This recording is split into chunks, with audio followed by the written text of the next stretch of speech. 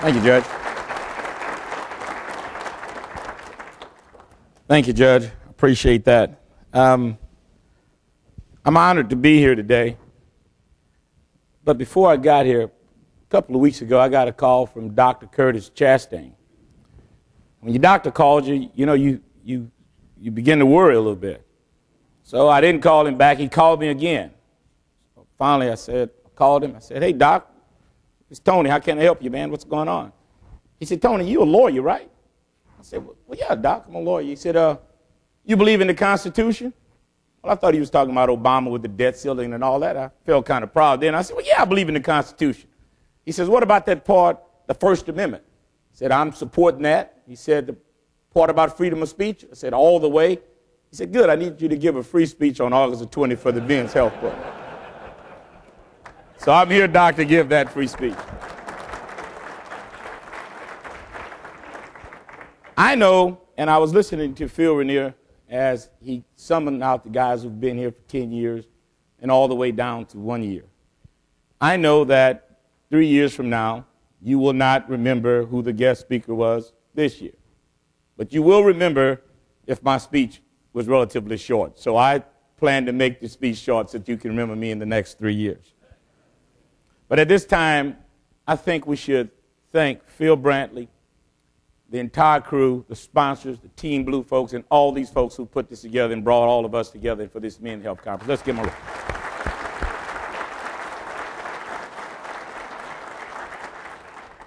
And speaking with you today, I was thinking about it the other day, and I, it came to me to say to you that your health, your health will present you with one of three situations.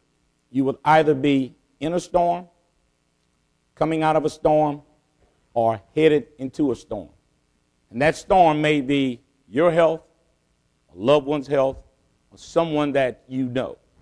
And what I mean about in the storm, you may be going through a traumatic health problem. Two, you may be coming out of that, or you will be headed into a storm. And we're going to concentrate today about how, as Dr. Chastain put it, to prevent you from headed, heading into another storm. A good friend of mine, Dr. Albert Sams, would always tell me, he said, Tony, know your numbers. Know your numbers. I said, man, what are you talking about, know your numbers? Well, he's talking about your blood pressure, my blood pressure, my cholesterol, and my blood sugar. And if you know those three numbers and you keep those numbers in, ch- in check, you will prevent that trifecta. Because as Dr. Curtis Chastain would tell you, if those three get out of whack, you start spiraling downward. So knowing your numbers have become or has become a mantra in my household, in my brother's household, and all of the men that are associated with me. So you must know your numbers. So how do you do that? How do you bulletproof yourself? If you read all the literature, it tells you with diet, exercise, and regular doctor visits. This Sunday, Dr. Sanjay Gupta will be doing a special called The Last Heart Attack on CNN. It's going to be a great show. You should watch it. I've read up on it before it airs, and it will say in a weird kind of way that heart attacks are food borne. Dr. Chastain may or may not agree with that, but it makes sense. Heart attacks are food borne. I remember my school teacher would tell me, You are what you eat. I never knew what she was talking about. Well, at 48 years old, she's, make, she's making a point, or a point has been made. But Dr. Sanjay Gupta special will, will center around that don't eat anything that, had, that has had a face or a mother. Don't eat anything that has had a face or a mother. I guess that leaves carrots and, and, and carrots and cabbage and stuff like that. But listen to it and it will tell you exactly how we must deal with it. My grandmother would always tell me, and I wrote it down, she would say, talk about the body being a temple. She would tie it into the Bible, but she would always tell, tell us that your body must be tough enough to fight, tender enough to cry, human enough to make mistakes, humble enough to admit them, strong enough to absorb the pain, and resilient enough to bounce back and keep on moving. In other words, if you don't take care of our bodies for ourselves, then we must do it for our children and our loved ones. Whatever situation you find yourself in in life, if you have good health, you would enjoy it all the better. At this point, let me take a matter or a point of personal privilege to tell you about two young men who grew up similar in life. You see, as Judge Laverne told you, I, I hail from the great city of Plaquemine, but I grew up in a little town called Addis.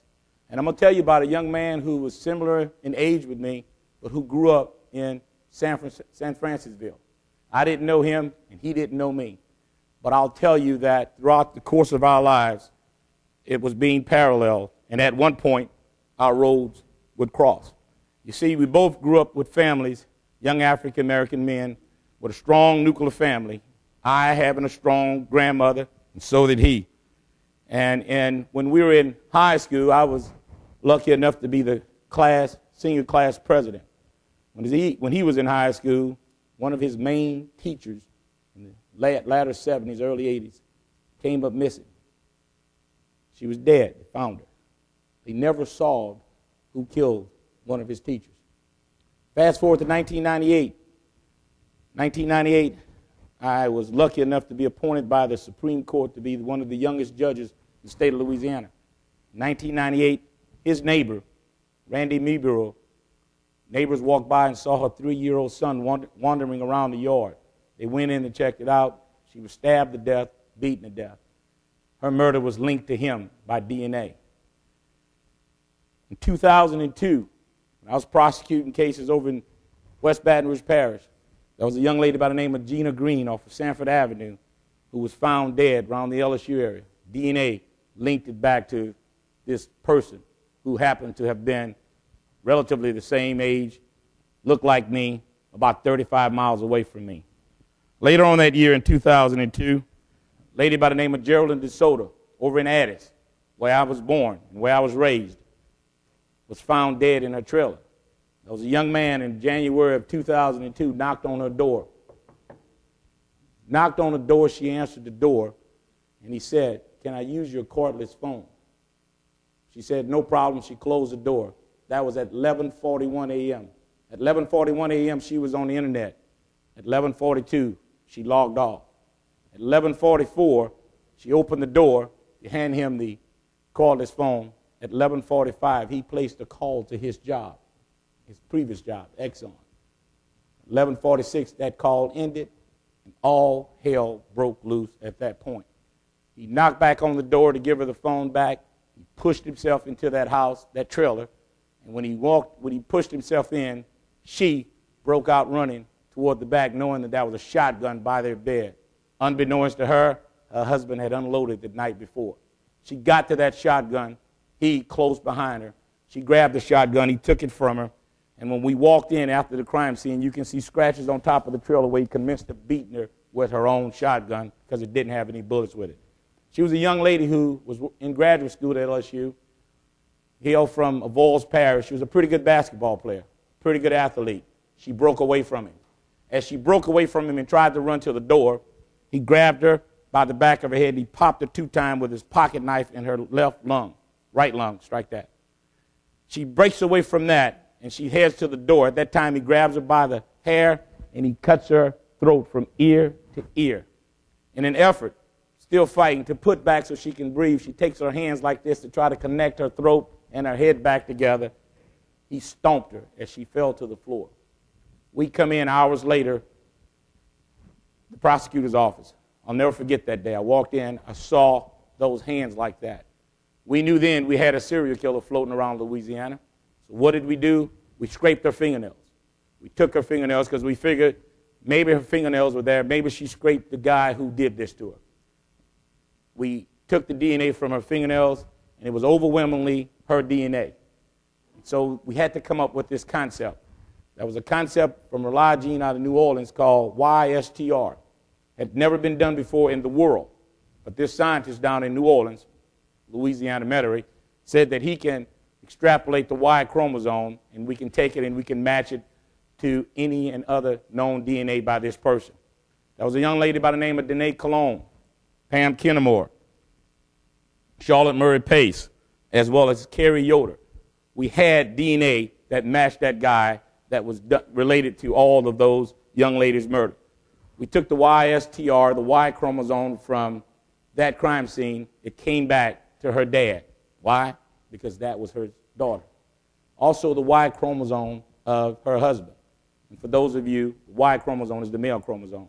And lastly, there was a Y chromosome of an unknown male, and it had a special allele to it. Allele is loci. That's when the, the DNA has its little special markers on it. So we took that YSTR of that person and we matched it with Dene Colomb that we had matched, one in 400 trillion that it was Derrick Todd Lee.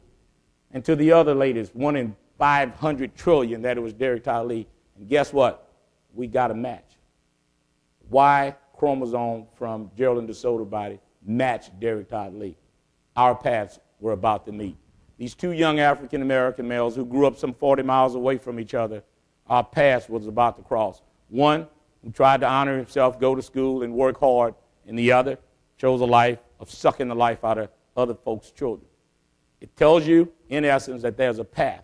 And I'm going somewhere with this, and I'll bring it to a head as I move on with it. Fast forward, we were able to convict him, and the jury convicted him of that, those charges, and which laid the foundation for Baton Rouge to ultimately prosecute and give him the death penalty. And I say that to say this to you that I probably have the worst job and the most stressful job that most men can have because what I do for a living, I prosecute young men. I have no and make no qualms about it because when you forfeit, when you take the life of another person, you forfeit the right to walk around with the rest of us. So I make no apologies for what I do. I will continue to do it. And I will fast forward from there to a situation of one of the probably the most memorable murder trials, and I've done hundreds of them. But I will never forget this murder trial because this murder trial took place last November, and it had probably a profound effect on me. This was the case, some of you may remember, of John Snyder, who threw his girlfriend off that four mile bridge between Krotz Springs and Pointe Coupee. You see, old John Snyder was a steroid buff, all on pills and all that stuff. He and his girlfriend got into a fight at the Krotz Springs bar.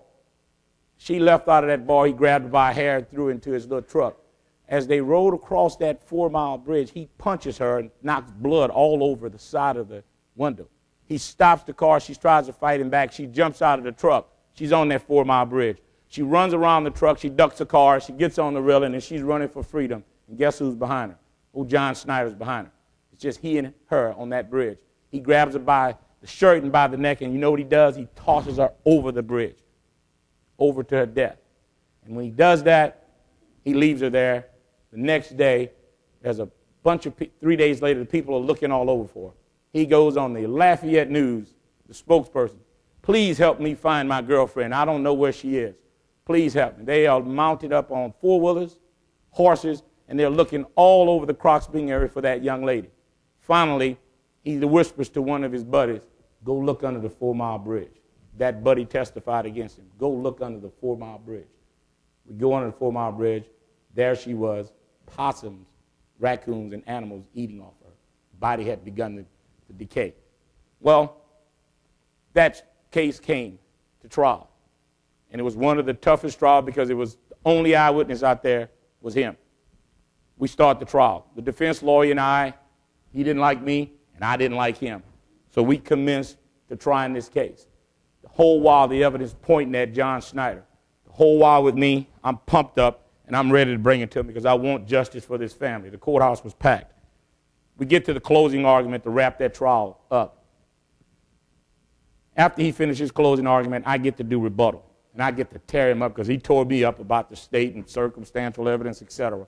When I got up to do my closing argument, men, my pressure, I was just boiling mad. I stood up in front of that jury, and as I started to strap it on him, my left eye became engulfed with blood. The blood was so I couldn't even see out of it. The jury couldn't see the blood because it was internal. And I said to myself, Self, not only has this son of a gun done killed this girl, this son of a bitch done killed me too. so I grabbed hold to the podium, and I knew that if I were to fall out there, he would probably get another trial. And I also knew that life would go on. I mean, in that short time span, I knew life would go on. Another prosecutor would come up here, and Tony Clayton would just be a blip on the radar screen. So I grabbed that podium, and I knew not to start an argument because if I did so, I think I'm having a stroke, and it may become worse. So I looked at the jury and I said, you know what? I don't have to say anything to y'all. Do whatever y'all think y'all need to do. Well, that stopped the case. That meant the jury got to make a decision no matter what happened to me. I walked back. The head DA was sitting next to me. I said, do not make a scene. Follow me out. I have something to tell you. It's very important. He follows me out. The judge is reading the instruction. We get outside. I said, rush me to the hospital. I think I'm dying. And I said, take me now. So I called my wife when he was driving me to that Pointe P. hospital. And I said, baby, meet me at the hospital. I didn't think she was going to bring my nine-year-old son. So, and I knew it was over because the blood was still rolling. And he says, what's wrong? I said, you don't, you're not going to believe this, but there's something going on in my brain. There's nothing but blood all over the place. This dude did kill me. We get to the hospital. They take me to the emergency room. They run me through a CT scan. When they ran, ran me through that CT scan, as I came out, men, they had to pass by, it was a small little hospital, they had to pass by the waiting room. And what I saw when I was coming out of there and they had me all strapped up was my nine year old boy's face plastered against that window looking at me with a blank stare. And I had then realized that I did not bulletproof myself, that I had not protected myself. And in essence, I had not protected this nine year old boy who I brought into this world. And that look between he and I, he knew at that point in time, and I knew then, but I can tell he was like, I might not have my daddy again. And the only eye I had left, folks, I cried out of that one eye like I couldn't cry before. And I ultimately got back and I was diagnosed. I was diagnosed with a vessel that had burst in my eye. You see, the vessels that burst in your eye, or the vessels in your eye, are some of the smallest and the weakest. They're the first to burst. Luckily, it burst there to relieve that pressure, because had it done so in my head, I would have suffered an aneurysm. I immediately went and found Curtis Chastain. And now I know my numbers. I'll tell you now, a month ago, my cholesterol was 225. A week ago, it's 144. I'll tell you that my blood pressure is 125 over 79. I know my blood sugar is 106. I know my numbers. I know my bad cholesterol was 172. Now it's 97. My good cholesterol was 29. Now it's 33. I had a 6 to 1 ratio prior to that. I have a 3 to 1 ratio now. And I'm going to make it a little better, Dr. Chastain. But I'm telling you that you got to bulletproof yourself because even a Tony Clayton, who a so-called judge, a so-called lawyer, a so-called prosecutor, you're not immune to it. You're not immune to it. But I'll tell you even more so that as I look across this room and I see me, I see me now and I see me later. But I agree with Phil Rainier that Baton Rouge is at the top of the country as it comes to this. Let me give you some stats that the Center for Disease Control has come out with. Unhealthy weight gain and poor diet, 300,000 deaths per year.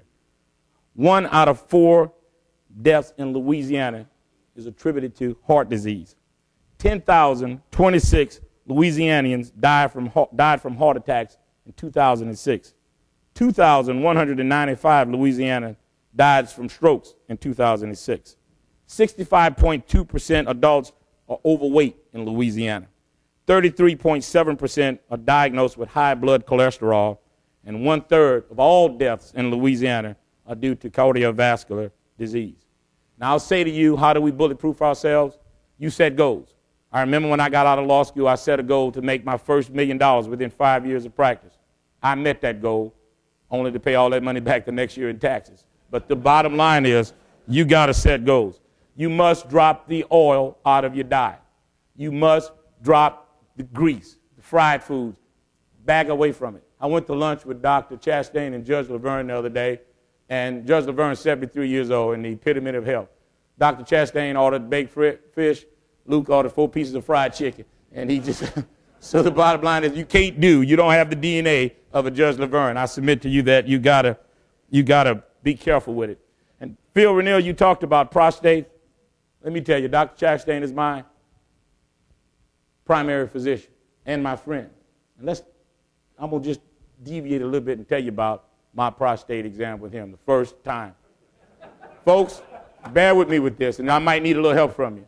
But as I walked in that office and I was told to drop it and get ready for it, I started hallucinating. Sweat started popping from the palm of my hand. And in my mind, I thought I saw two nurses doing the doo wop in the background. And then I see this little white man comes in, and I just bent over to get ready for this horrible. And folks, in my mind, I thought this little white dude voice changed to a deep baritone, and the lights went down, and I thought he started singing Lou Rawls, You'll Never Find. Help me with this. Another love like mine, someone who cares about you. And I said to myself, Self, that must be. In wrapping this up, folks, there's those of you have flown on an airplane. It's not about you, it's about your children and your loved ones. And if you've ridden on a plane or flown on a plane, the flight attendant tells you that in the event of cabin pressure loss, the oxygen masks will fall. Place the oxygen mask on yourself. If you're seated next to a child, then place it on the child. Place the oxygen mask on yourself first, then assist your child. Well, I thought that was somewhat backwards. But they're right, because if you can't breathe, if you can't function, if you've had a stroke, if you can't support your family, then how can you help someone else? So by helping yourself, put the oxygen on yourself, bulletproof yourself, and then you will be able to help your loved ones. And in closing, I say to you, as you journey through your lives, remember that each step you take, everything you do, will affect the lives of others who are looking to you for guidance. Be that person who leads others toward a healthier life. Be an example to your friends. Take the hand of a child in need of a mentor and show him or her how to dream, how to achieve, achieve the same health awareness attitude that you have. We can make Baton Rouge, Louisiana, and yes, America, a healthier place through sharing our hearts with those around us. And remember, genetics you cannot control, but how they affect you and your loved ones, you can by bulletproofing yourself. And the first step you should take to bulletproof yourself is to know your numbers. Thank you and Godspeed.